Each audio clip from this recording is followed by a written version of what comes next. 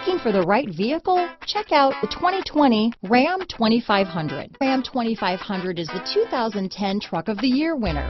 It's the hardest working truck in tow business. This isn't just a vehicle, it's an experience. So stop in for a test drive today.